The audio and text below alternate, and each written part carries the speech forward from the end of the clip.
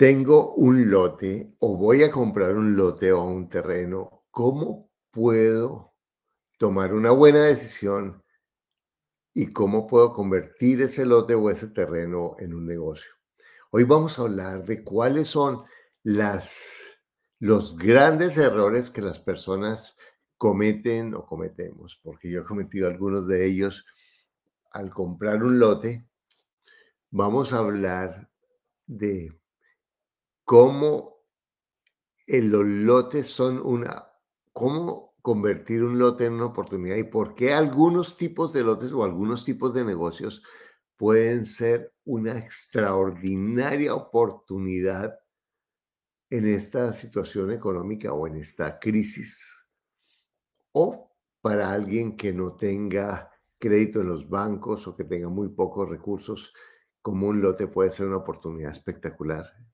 Y por otro lado, ¿qué hacer para realizar, para hacer esa oportunidad realmente un negocio? Bueno, hoy vamos a tener esta, este, esta sesión, eh, espero que está, va a estar cargadita de información muy práctica que espero que sea útil para ti o para alguno de tus cercanos.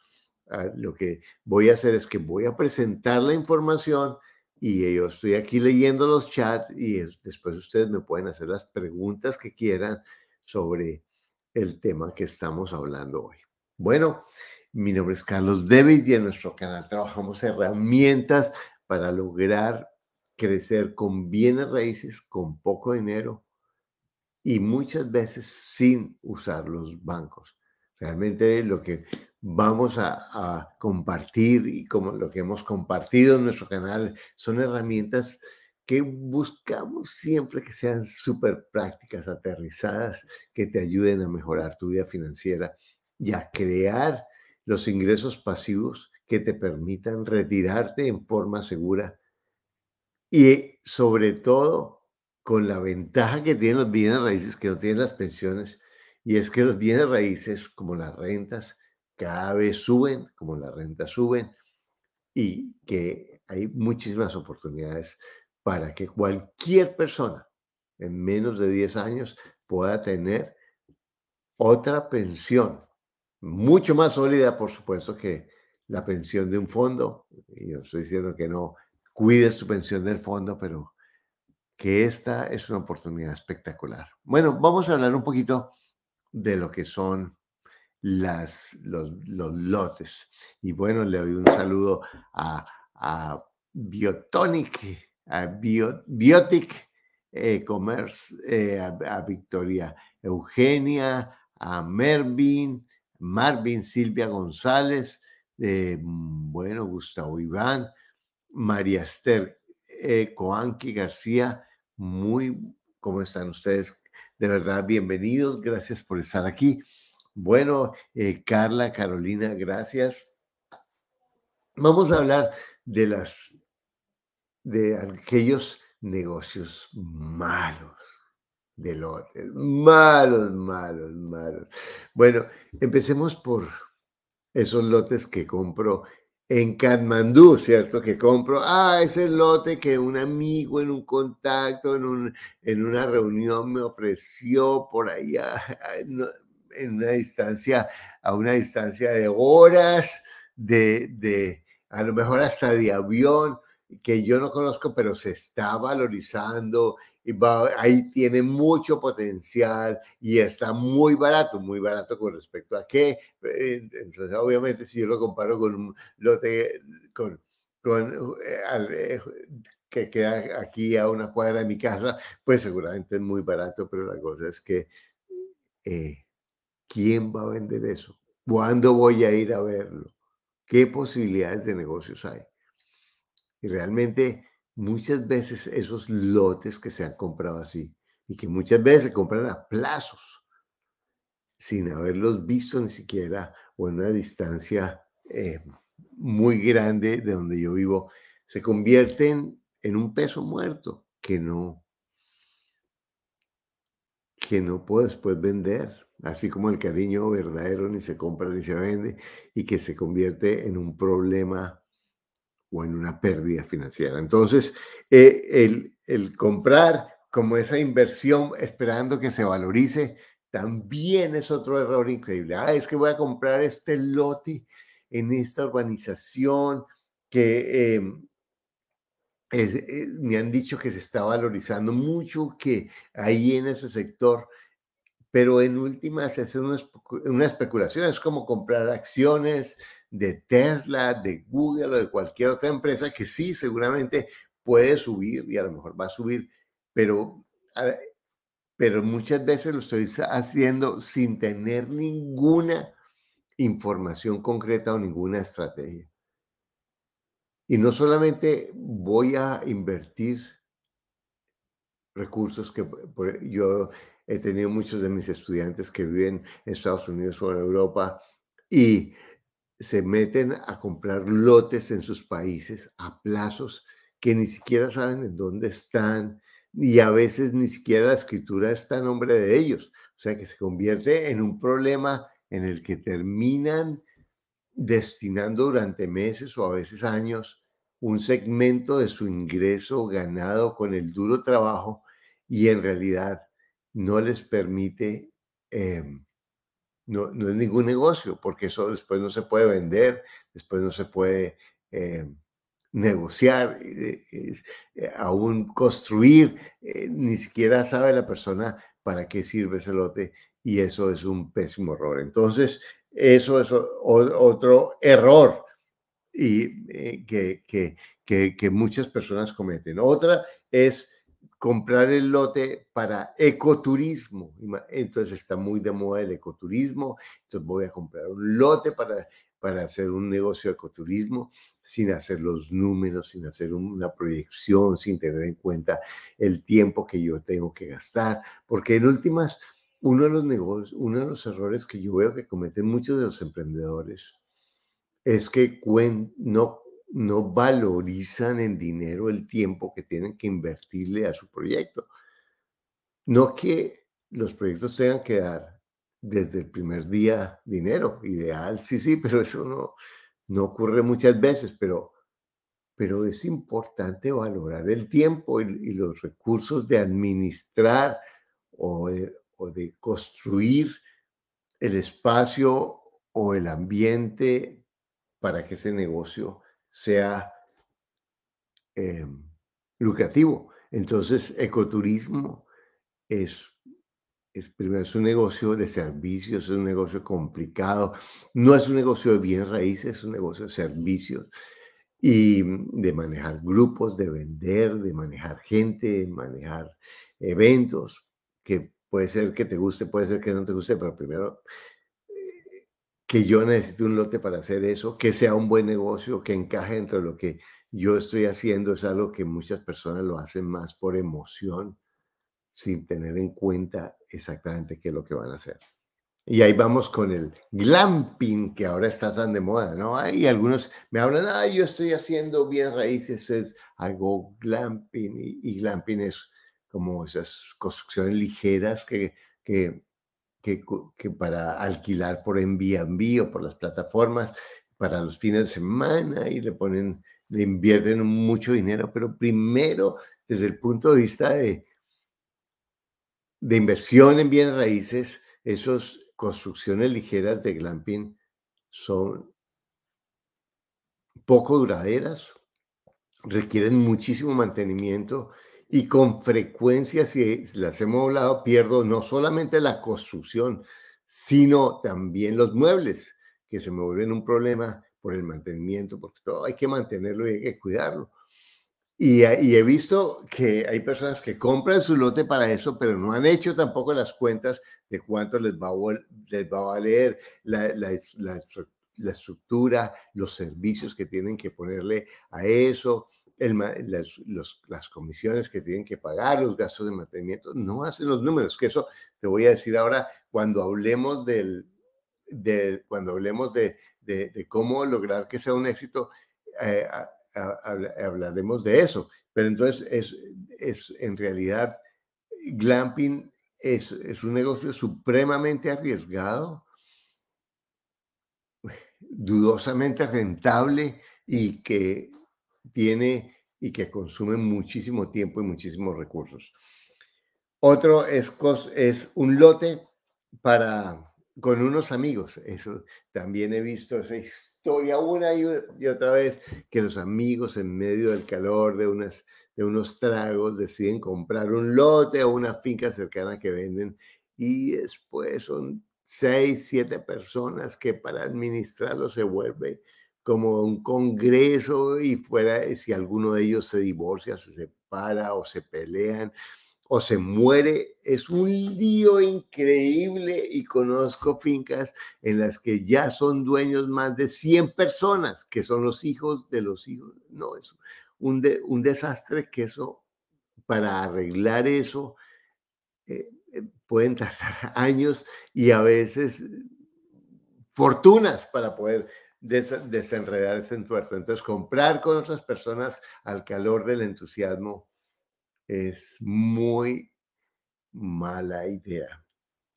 Por otro lado, en un concurso, en un, en un conjunto, comprar en un conjunto recreacional que se está valorizando. Un poco lo mencionamos cuando compramos el lote, hablamos del lote afuera, pero en últimas, esos conjuntos que a veces ni han comenzado, yo porque, ay, voy a comprar barato antes de que se valorice.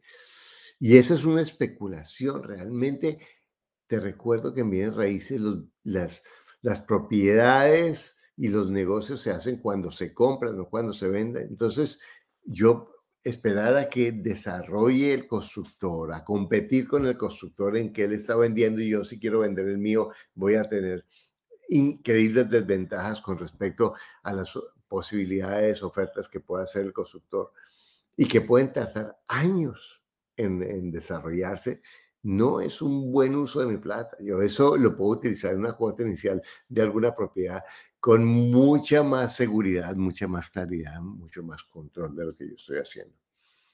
Entonces, otro es construir para lotear.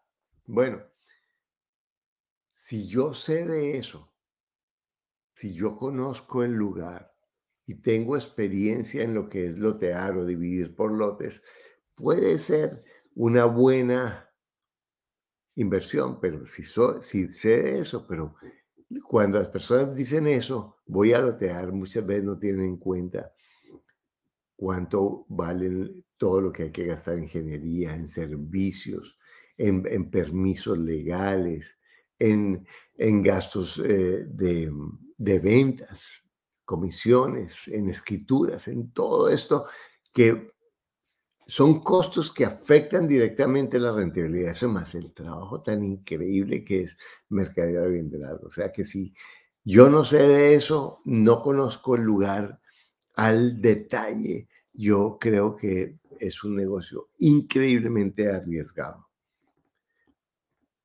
Ah, yo compro para construir una casa. Bueno, aquí podemos ir en dos caminos, porque yo quiero construir mi casa de campo para ponerla en el Airbnb también. Normalmente, si yo no tengo experiencia en construcción, construir algo es muy, muy desafiante, muy costoso, muy demandante de tiempo y muy difícil. Entonces, en realidad, eh, comprar para construir en la mayoría de veces queda en un lote que la gente no, no construye. Ah, pero es que es para cuando me retire. Bueno, cuando me retire, ¿qué es lo que pasa con las fincas o con los lotes cuando se compran para retirar? Cuando me retire. Primero, que yo puedo tener la, el recuerdo, ah, yo voy con mis hijos, a mi familia le encanta, a mi esposa, bla, bla. Pero cuando los hijos crecen, no necesariamente les gusta el mismo paseo que a los 25 años que les gustaba a los 10 o a los 12 años. Y a los 25 ya quieren estar es con el novio, con la novia y no con los padres. Entonces realmente va a ser más difícil. Y, y para las personas de edad que ya necesitamos estar más cerca de un médico, de un hospital y que no tenemos la flexibilidad y la, la la salud que teníamos antes, pues e, es, es, más, es más difícil ¿eh? y muchas veces esas fincas o esos lotes terminan convirtiéndose en un gasto más que en un, en, una, en un recurso, en una obligación de que tengo que ir al lote o a la finca a arreglar esto o lo otro, cuando le toca ir sola a una persona porque los demás no están realmente em, interesados en eso y termino vendiendo esa propiedad porque, porque lo que soñaba de mi retiro no necesariamente es lo que va a ocurrir. Entonces, todo esto, o, voy a comprar un lote para cultivar o para agroindustria o para ganado. Mi experiencia con eso a lo largo de mi vida y con mis propias decisiones es que el que no sabe es que ser campesino o ser agroindustrial o ser un empresario del campo es muy difícil, es muy arriesgado, es muy demandante para una persona de la ciudad que tiene su trabajo, que tiene sus obligaciones. Es, es muy demandante. Ah, que tengo un amigo que soy socio. Bueno, pero normalmente eso tiene tapas y termina dañándose la amistad y dañándose el negocio. Entonces, por eso nosotros eh, sugerimos invertir en bienes raíces, pero que te produzcan liquidez, porque uno de los grandes desafíos de los lotes es que no producen liquidez, producen gastos, producen trabajo.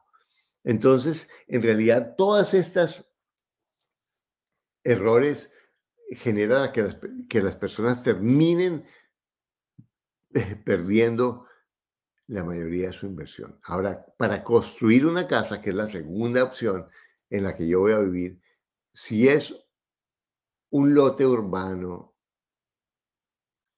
si yo no tengo mucho dinero y mi lote lo puedo construir poco a poco para construir una casa y encima los apartamentos, como tenemos varios podcasts eh, así, por ejemplo, el muchacho Ricardo en Ecuador, que, que construyó más apartamentos en la casa de sus padres y que compró un lote para construir su propia eh, casa y sus apartamentos, es, es algo que tiene una ventaja y ahorita lo hablamos como una estrategia, pero es para alguien que va a hacer la construcción, que tiene conocimientos o forma de hacerla y que la puede realmente, que le puede ir ahorrando gastos porque puede eventualmente hasta vivir en, la, en el mismo lugar mientras construye.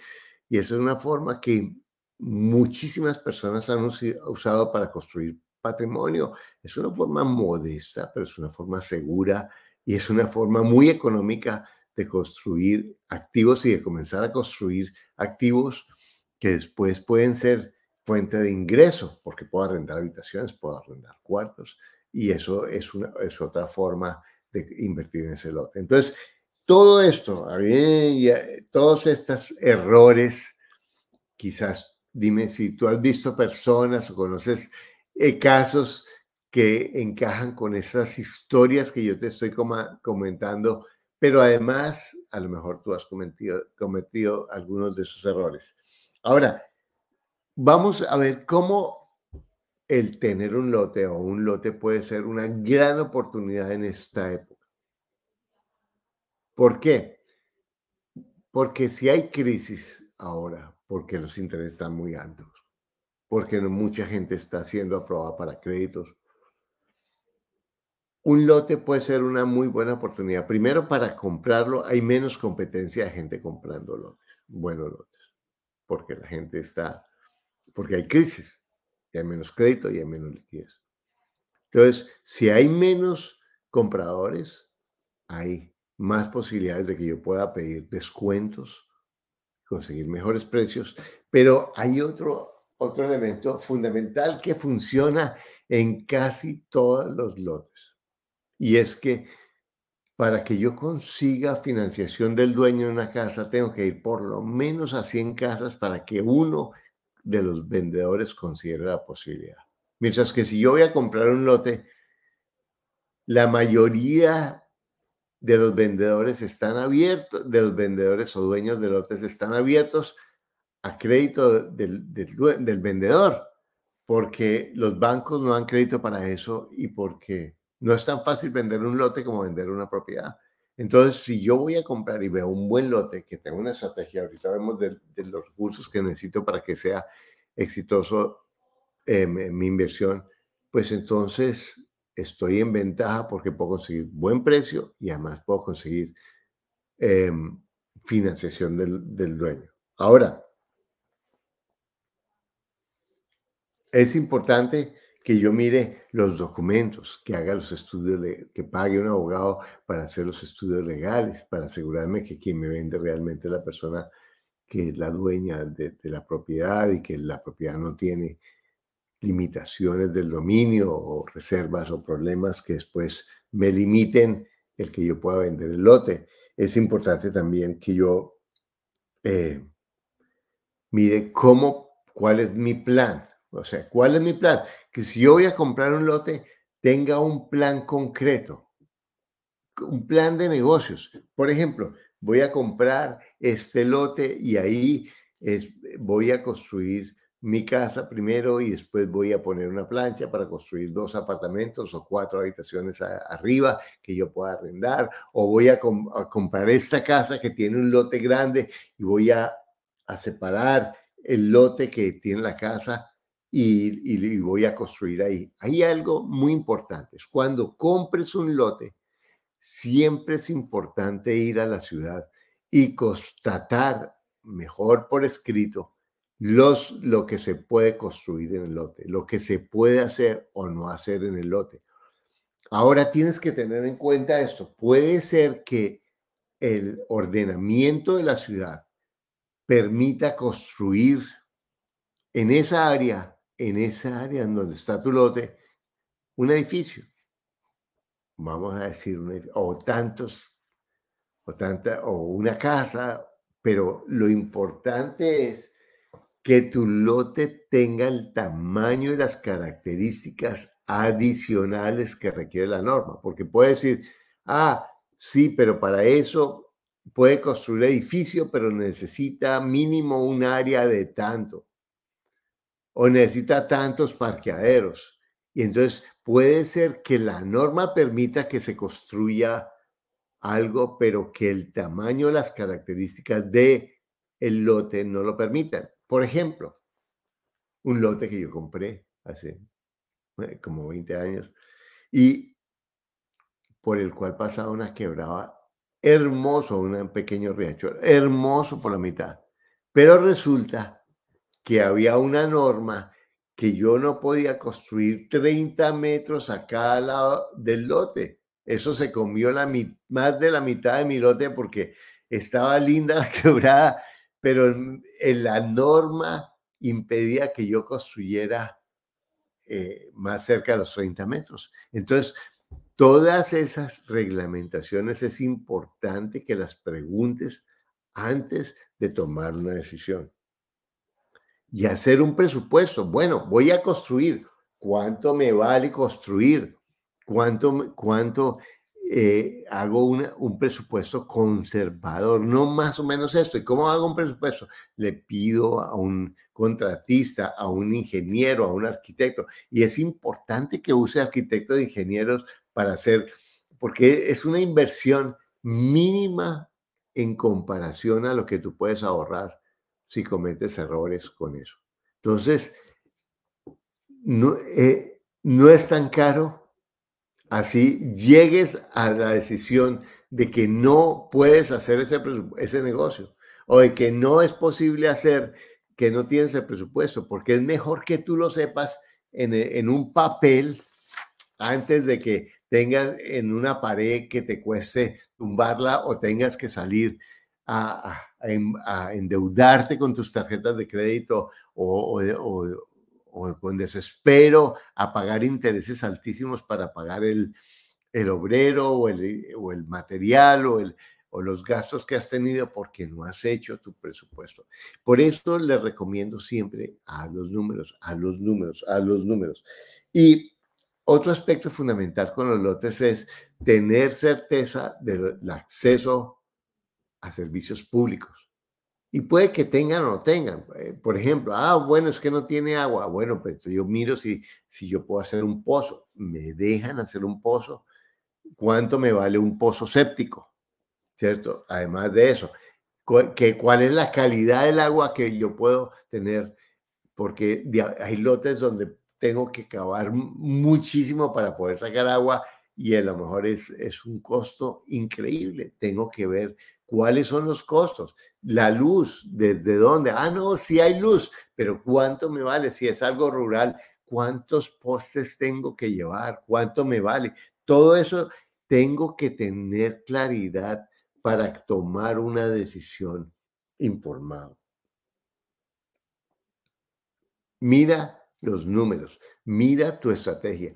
Y yo te voy a decir, si tienes un dinero que puedes ahorrar, ahórralo para una cuota inicial de una propiedad en un lugar que tú conozcas y que tú controles. Y e idealmente que sea una propiedad de segunda, una propiedad que tú puedas de inmediato empezar a beneficiarte de ella. Tienes que buscar y buscar y buscar y sé que ahorita es difícil, que los intereses están caros, bla, bla, bla, bla, todo eso, pero yo lo que sé es que tú puedes comprar una propiedad si tú quieres. Bueno, me encantaría si tienes preguntas que hagas tus preguntas o que, o que, o que nos digas qué opinas de lo que hemos hablado. Vamos a ver ese video y aquí tengo otro video de cinco estrategias para invertir en lotes, que es un video más corto, pero muy contundente también para ayudarte a tomar mejores decisiones. En últimas, comprar es fácil. comprar una porquería es mucho más fácil todavía. Ah, es que es bueno, es maravilloso, tiene potencial. La mayoría de veces esos argumentos en los lotes son del vendedor.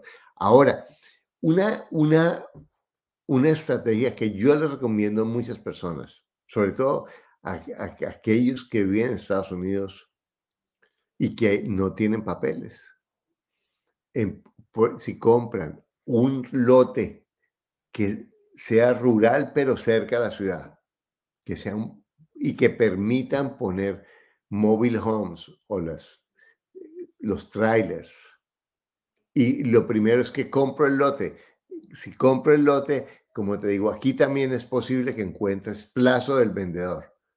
Entonces tú puedes comprar un lote de 10 mil o 15 mil dólares o 20 mil dólares y financiarlo con el vendedor. Y mientras tanto pones un trailer que lo puedes comprar de segunda y lo arreglas, lo pones en ese lote y, ya dejas de pagar renta. Y lo segundo es que pones otro trailer y si pones dos o tres en eso y, y te dejan la ciudad, tú puedes comenzar a construir un ingreso pasivo. Hay muchas oportunidades. Bueno, eh, tengo un terreno, vamos a ver, tengo un terreno con todos los servicios de, tengo un terreno de, de Wilson, con todos los servicios a manera de inversión. Estoy pensando venderlo para poder construir habitaciones. Bueno, Wilson, yo te diría es esto, si tú puedes construir habitaciones en el lote, maravilloso. Pero muchas personas el lote no les permite o les queda muy lejos. Eh, lo que está planeando Wilson es, bueno, vende tu lote, así lo vendas barato, porque eso es otra cosa. Si yo compré el lote en 10 mil dólares y ahorita lo puedo, dicen que vale 20 mil. Entonces yo no lo vendo, sino no me dan los 20 mil que vale. Pero si yo metí 10 mil y alguien me da 15 mil o alguien me da 12 mil, lo vendo ya como una ganga, saco ese dinero y eso lo uso como una cuota inicial para comprar otra propiedad. Más vale pájaro en mano. ¿De acuerdo? Ahora, si tú sabes construir y ya sabes lo que vas a hacer con ese dinero, me parece bien lo que estás haciendo, Wilson. Acuérdate, un planito, ¿cierto? Pide varias cotizaciones, ve haciéndolo a tu ritmo. Eh, yo te sugiero que en lo posible no te endeudes. Es preferible que te demores un poquito más a que te endeudes para eso. Bueno, ¿cómo sacar los números cuando no, cuando no podemos pedir un préstamo por indocumentado? Me refiero al valor de la hipoteca mensual. Bueno, Luis, siempre los números son básicos. La forma como yo le digo a mis estudiantes es, el número es que la propiedad, si es una propiedad, se pague sola.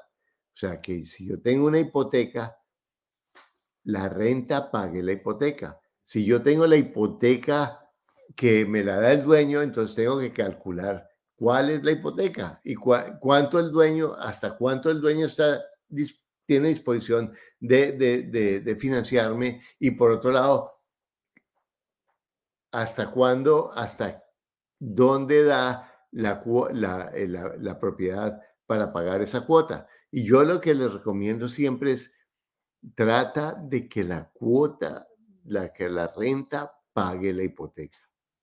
Tengo un terreno rural, quiero hacer pequeñas cabañas para alquilar cerca de la ciudad. Bueno,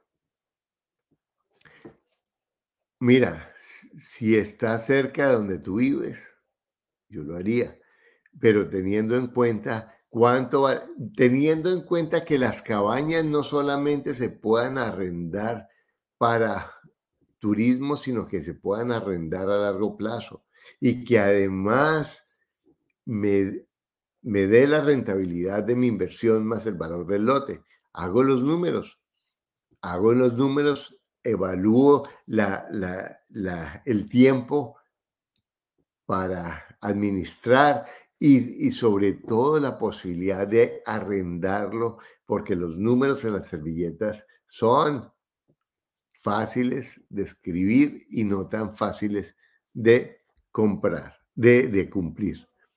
¿Qué hacer si acaba de llegar a un país nuevo como Canadá en las condiciones actuales, teniendo en cuenta gastos extras como el pago de college? Bueno, Samuel, yo lo que, una de las cosas que yo les digo a los, a los inmigrantes es que lo que nos ocurre cuando llegamos a un país es que comenzamos a darnos cuenta que aunque podemos ganar poquito, ganamos mucho más de lo que ganamos en nuestro país. Y lo que hacen las personas es comenzar a subir sus gastos. Entonces, lo primero es mantener los gastos lo más controlados posible y comenzar a ahorrar, ahorrar, porque la riqueza no es imposible si yo gasto más de lo que gano. Entonces, comenzar a ahorrar y comenzar, si acabo de llegar a informarme cómo son las reglas del juego, cómo son los préstamos, qué requiero. Es como llegar a una casa en donde están jugando algo y yo me meto a jugar con ellos y apuesto lo que tengo en el bolsillo. No, lo primero yo pregunto, bueno, pero ¿cómo es la regla del juego? ¿Cómo gana uno? ¿Cómo pierde? ¿Qué es lo que tengo que hacer? Entonces, lo primero es averiguar las reglas del juego. Pero hay una regla del juego que es general, gastar menos de lo que yo gano. Y, y aprendo, veo las reglas del juego, cómo es lo del crédito con los bancos, cómo es, cómo son las bienes raíces, cómo se arrienda, cómo se, se compra, cuánto valen las propiedades, en cuánto se pueden arrendar. Todo eso lo voy averiguando averiguando las reglas del juego. Mientras tanto, voy ahorrando. Busco amigos o amigas que hayan crecido financieramente. No me meto con los clubes de perdedores donde dicen aquí todos son bobos. Los gringos o los canadienses son unos bobos y realmente eh, eh, eh, es muy difícil todo y eso no le dan a uno porque uno es, lo, lo discriminan y me lleno de razones para no crecer. Busca gente que, que ha crecido, que ha logrado los resultados que tú quieres e y empieza a imitarlos a ellos. Eso es, realmente es, así funciona. Bueno, eh, muy bien, eso es eh, lo que yo que tenía hoy para ti. La pregunta me refiero a la renta con opción de compra eh, la pregunta anterior, me, dice Luis, me refiero a la renta con opción de compra financiamiento por el dueño. Debemos tener en cuenta cómo pagaríamos la hipoteca. Ah, ya. Bueno, mira, Luis, cuando yo hablo de financiación del dueño, normalmente el dueño es el que pone las condiciones. El dueño es el que dice cuánto quiere de capital mensual y cuánto son los intereses. Entonces se puede calcular a 5 años, a 10 años, a 20 años. y ahorita no voy a, no voy a hablar de eso, pero, pero, pero tú puedes calcular el pago que se divide la cuenta como si fuera a pagar a 20 años. Entonces los pagos se divide. Yo 100 mil dólares en, en 10 años son en 10 años son 120, en 240 meses, que son 20 años. Entonces, lo que hacemos es que dividimos 100 mil dividido 240 meses, que son 20 años. Entonces, eh, son 416 dólares de capital y el interés al 5%, el interés entre el 5%, entonces son sobre, voy a hacerlo a lo bruto, si en, eso hay eh, en el internet, pues hay formas de calcularlo, son al 5% son 5 mil dólares al año, entonces 400, entonces 5 mil dólares de intereses dividido por 12 son eh,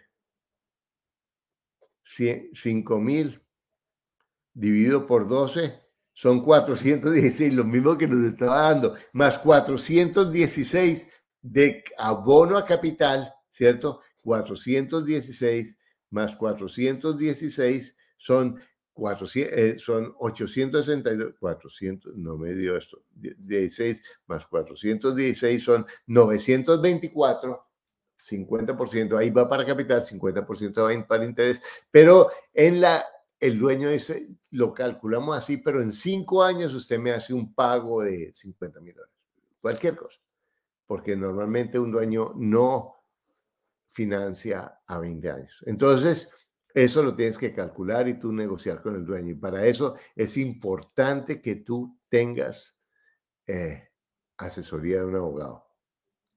Si tengo ahorros, es recomendable iniciar comprando un terreno, ir construyendo o mejor la cuota inicial para un apartamento. Bueno, si tú tienes, Dani, la posibilidad de comprar un terreno, que tú conozcas el lugar y que tú sepas cómo ir construyendo, a lo mejor es una opción, pero haz el plano, haz el presupuesto, mira lo que te permite la ciudad, haz tu tarea y de ahí a lo mejor puedes ir construyendo. Esa puede ser una opción si, si tú, si, si los números te dan y las condiciones de la propiedad te da para eso. Bueno, eh, ¿qué más? La, última pregunta, en, donde eh, que en Venezuela es un país en donde la inflación crece cada día. ¿Qué estrategia nos recomiendas para comprar el primer inmueble? Lo mismo, mira, yo eh, tengo muchos alumnos que estado en Venezuela y yo sé que los los precios están locos, que hay unos lugares en donde está costoso y hay, y hay, otro, y hay otro en donde em, es un regalo. Mira que los números te dan. Empieza a ahorrar y empieza a conocer el juego. En Venezuela o en Argentina, las reglas del juego son diferentes a otros países por la alta inflación que hay, pero hay reglas. Ahí, tenemos podcast de cómo comprar y cómo hacer negocios en Argentina y en Venezuela. Pero, pero tienes que entender las reglas, cómo ha hecho la gente que tiene dinero, cómo ha comprado, cómo los que han los que tienen propiedades, cómo lo, han hecho. Bueno, ¿cómo ahorramos si el precio sigue subiendo? Bueno, ¿sabes? Mira, lo que yo te digo es que esto, lo que yo propongo en el canal no es para hacerlo de un día para otro. Toma tiempo. Entonces comienza hacerlo con tiempo. Y yo sé que el precio sube, pero también puedes encontrar gangas, también puedes encontrar descuentos. Pero lo que yo te voy a decir es esto, eh, Heleman. Si tú te educas, tú vas a encontrar recursos para comprarlos. Hablamos de las estrategias defensivas, las estrategias ofensivas. Defensivas es bajar los gastos, ofensivas es conseguir ingresos adicionales. Y si a eso, y si tú entiendes cómo hacer negocio, vas a encontrar oportunidades. Bueno, eso es lo que yo tenía hoy para ti. De verdad, muchas gracias por estar aquí. De, de verdad, si soy pobre y no tengo ningún terreno, ¿sabes qué? Puedes empezar a aplicar las normas y las reglas y aprender a educarte financieramente para cambiar tu pensamiento y empezar a ahorrar y a crear riqueza. Toma tiempo, pero tú lo puedes hacer. No te, no te resignes a que soy pobre. Edúcate financieramente que todo comienza con el primer dólar. Bueno, porque recuerda, Tienes todo lo que necesitas para lograr lo que quieres. Lo único que te aleja es un pensamiento que no es cierto. Bueno, suscríbete a mi canal si no te has suscrito de verdad y comenta qué aprendiste, qué reflexión te da esto y cómo esto te puede ayudar a lograr lo que tú quieres.